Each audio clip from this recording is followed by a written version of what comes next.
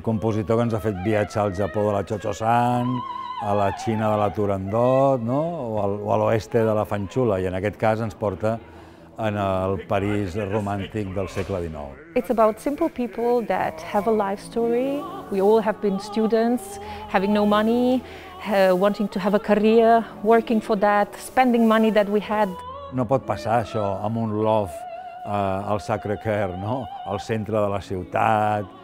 No, això ha de passar en un lloc real, on treballen els artistes, la gent que no té diners, a la perifèria, no? a la banlieue. mantiene la historia de Bohem, pero de una forma moderna, que cualquiera puede identificarse con eso el día de hoy. Cantare quest'opera è sempre una grandissima emozione, per me è una delle mie opere preferite. Bohem per me è un'opera molto attuale, quindi trovarmi a una Mimide nei giorni nostri non, non mi sorprende affatto. It cannot not touch you. It's, it's too out of this world.